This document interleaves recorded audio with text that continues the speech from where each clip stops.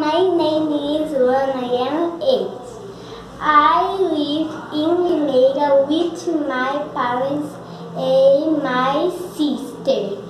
I want to travel to Disney. I food.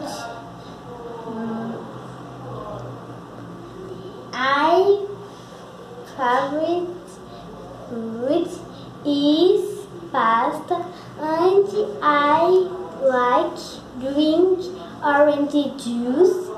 My favorite color is red.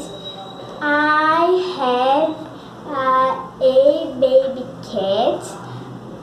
I like watch on Netflix. Bye, see you.